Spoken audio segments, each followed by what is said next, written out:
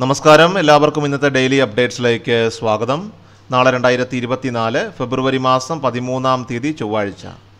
ഇന്നത്തെ ഏറ്റവും പ്രധാനപ്പെട്ട വാർത്താ അപ്ഡേറ്റുകളും നാളെയും വരും ദിവസങ്ങളിൽ നിങ്ങൾ അറിഞ്ഞിരിക്കേണ്ട ശ്രദ്ധിക്കേണ്ട പ്രധാനപ്പെട്ട അഞ്ച് കാര്യങ്ങൾ എന്തൊക്കെയെന്നാണ് ഷെയർ ചെയ്യുന്നത്. എല്ലാവരും പൂർണമായിട്ട് ശ്രദ്ധിക്കുക. ഈ വീഡിയോ ഒന്ന് ലൈക്ക് ചെയ്ത് കാണുക. നിങ്ങളുടെ സുഹൃത്തുക്കളിലേക്ക് എല്ലാം തന്നെ ഒന്ന് മറക്കാതെ ഷെയർ ചെയ്യണം. നമ്മുടെ വാട്സപ്പ് ഗ്രൂപ്പിൽ അംഗമാകുവാനായിട്ട് താല്പര്യമുണ്ടെങ്കിൽ വാട്സപ്പ് ഗ്രൂപ്പുകളിൽ ജോയിൻ ചെയ്യാം. വാർത്തകളും അറിയിപ്പുകളും വാട്സപ്പ് ഗ്രൂപ്പുകളിൽ ലഭ്യമാകും. ഗ്രൂപ്പിൽ ജോയിൻ ചെയ്യാനുള്ള ലിങ്ക് ഡിസ്ക്രിപ്ഷൻ ബോക്സിലും കമന്റ് ബോക്സിലുമുണ്ട് എല്ലാവരും ക്ലിക്ക് ചെയ്തുകൊണ്ട് ജോയിൻ ചെയ്യുക. ആദ്യത്തെ പ്രധാനപ്പെട്ട വാർത്താ അപ്ഡേറ്റ് പുരപ്പുറ സോളാർ പ്ലാന്റ് സ്ഥാപിക്കാൻ ഗാർഹിക ഉപഭോക്താക്കൾക്ക് നാൽപ്പത് ശതമാനം വരെ സബ്സിഡിയിൽ അവസരമൊരുക്കിയ സൗര പദ്ധതി അവസാന ഘട്ടമായിരിക്കുകയാണ്. ഈ പദ്ധതിയുടെ ഭാഗമായിട്ട് ഉപഭോക്താക്കൾക്ക് ഏഹ് ഉ- അവരുടെ വീടുകളിൽ മുയൽക്കൂരയിൽ സോളാർ പാനലുകൾ സ്ഥാപിക്കുവാനായിട്ട് സാധിക്കുന്നതാണ്. ഈ പദ്ധതിയിൽ ചേരുന്നതിനായിട്ട് മാർച്ച് പതിനഞ്ച് വരെ രജിസ്ട്രേഷൻ ചെയ്യാവുന്നതാണ്.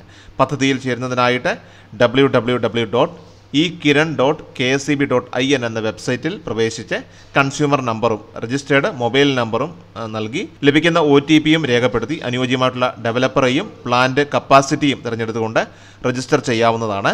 ഈ പദ്ധതിയിൽ ചേരുന്നതിലൂടെ ആനുകൂല്യങ്ങളും അതുപോലെ തന്നെ പരിരക്ഷയും നിങ്ങൾക്ക് ലഭിക്കുന്നതായിരിക്കും. അടുത്ത പ്രധാനപ്പെട്ട വാർത്താ അപ്ഡേറ്റ് കേന്ദ്ര സർക്കാർ കിലോയ്ക്ക് ഇരുപത്തിയൊൻപത് രൂപ നിരക്കിൽ ലഭ്യമാകുന്ന ഭാരത് റൈസ് അത് വിഷയം ഇപ്പോൾ നിയമസഭയിൽ ചർച്ചയായിരിക്കുകയാണ്. റേഷൻ കടകളിൽ മോദിയുടെ ചിത്രം വയ്ക്കണമെന്ന കേന്ദ്ര നിർദ്ദേശം നടപ്പിലാക്കില്ലെന്ന് മുഖ്യമന്ത്രി പിണറായി വിജയൻ നിയമസഭയെ അറിയിച്ചു. കേന്ദ്ര നിർദ്ദേശം ലഭിച്ചു. പ്രധാനമന്ത്രിയുടെ ചിത്രങ്ങൾ റേഷൻ ഷോപ്പുകളിൽ പ്രചരിപ്പിക്കുക എന്നത് ഇതുവരെ ഇല്ലാത്ത പ്രചരണ പരിപാടിയാണ്.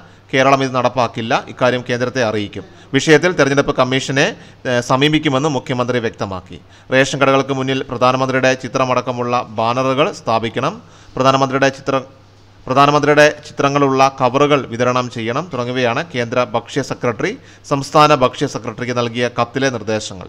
കേന്ദ്രം പല രൂപത്തിൽ ഭക്ഷ്യ പൊതുവിതരണത്തിൽ ഇടപെടുന്ന സ്ഥിതിയാണ് നിലവിലുള്ളതെന്ന് ഭക്ഷ്യമന്ത്രി ജി ആർ അനിലും സഭയെ അറിയിച്ചു. കേരളത്തിന് ആവശ്യമായ അരി നൽകുന്നതിൽ പോലും കേന്ദ്രം അനുകൂല നിലപാട് സ്വീകരിച്ചില്ല. എട്ട് വർഷമായി നൽകുന്ന അരിയുടെ അളവ് വർദ്ധിപ്പിച്ചില്ലെന്നും മന്ത്രി വ്യക്തമാക്കി.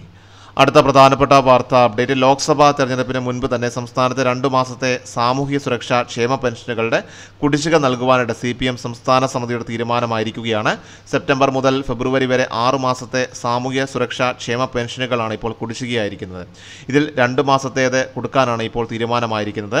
ജനങ്ങളുടെ പ്രതിഷേധം അതോടെ കുറയുമെന്നാണ് സംസ്ഥാന സമിതി കണക്ക് കൂട്ടുന്നത്.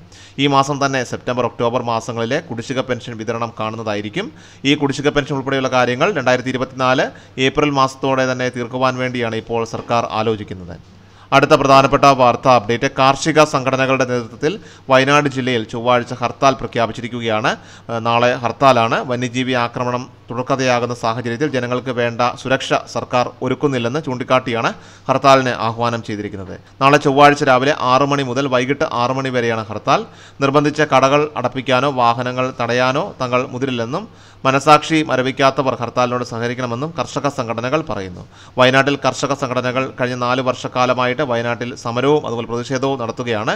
എന്നിട്ടും ഭരണകൂടം മുഖം തിരിക്കുകയാണെന്നും സംഘടനകൾ ആരോപിക്കുന്നു. അവസാനമായിട്ട് സംസ്ഥാനത്തെ സ്വർണവില പരിശോധിച്ചാൽ സംസ്ഥാനത്ത് തുടർച്ചയായിട്ടുള്ള മൂന്നാം ദിനവും സ്വർണവിലയിൽ മാറ്റമില്ല. ഇന്ന് തിങ്കളാഴ്ച ഫെബ്രുവരി പന്ത്രണ്ടാം തീയതി ഒരു ഗ്രാം ഇരുപത്തിരണ്ട് ക്യാരറ്റ് സ്വർണത്തിന് അയ്യായിരത്തി എഴുന്നൂറ്റി എഴുപത് രൂപയിലും ഒരു പവൻ ഇരുപത്തിരണ്ട് ക്യാരറ്റ് സ്വർണത്തിന് നാൽപ്പത്തി ആറായിരത്തി ഒരുന്നൂറ്റി അറുപത് രൂപയിലുമാണ് വ്യാപാരം പുരോഗമിക്കുന്നത്. ഇന്നത്തെ ഡെയിലി അപ്ഡേറ്റ്സ് ഇവിടെ പൂർണമാവുകയാണ്. എല്ലാവരിലേക്കും നിങ്ങൾ ഈ അപ്ഡേറ്റ്സ് ഷെയർ ചെയ്യുക. നമ്മുടെ വാട്സപ്പ് ഗ്രൂപ്പിൽ അംഗമാകുവാൻ താല്പര്യമുണ്ടെങ്കിൽ വാട്സപ്പ് ഗ്രൂപ്പുകളിൽ ജോയിൻ ചെയ്യാം. വാർത്തകളും അറിയിപ്പുകളും വാട്സപ്പ് ഗ്രൂപ്പുകളിൽ ലഭ്യമാകും. ഗ്രൂപ്പിൽ ജോയിൻ ചെയ്യുക. ലിങ്ക് ഡിസ്ക്രിപ്ഷൻ ബോക്സിലും കമന്റ് ബോക്സിലുണ്ട്. എല്ലാവരും ക്ലിക്ക് ചെയ്തുകൊണ്ട് ജോയിൻ ചെയ്യുക. കൃഷൽ മീഡിയ എല്ലാ ദിവസവും വാർത്തകളും അറിയിപ്പുകളും ലഭിക്കുന്നതിനായി ചാനൽ സബ്സ്ക്രൈബ് ചെയ്യുക. വീഡിയോയുടെ നോട്ടിഫിക്കേഷൻ ഉടൻ ലഭിക്കുന്നതിനായി ബെല്ലൈക്കൺ അമർത്തുക.